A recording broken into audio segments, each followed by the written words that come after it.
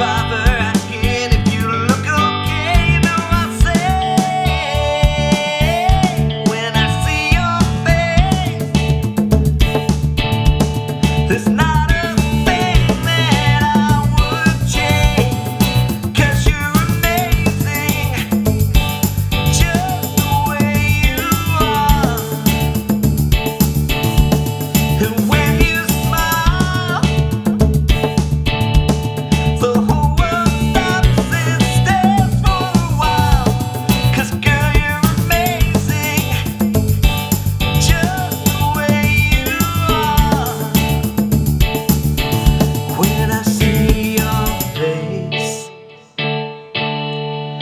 not a thing that I would change, cause you're amazing.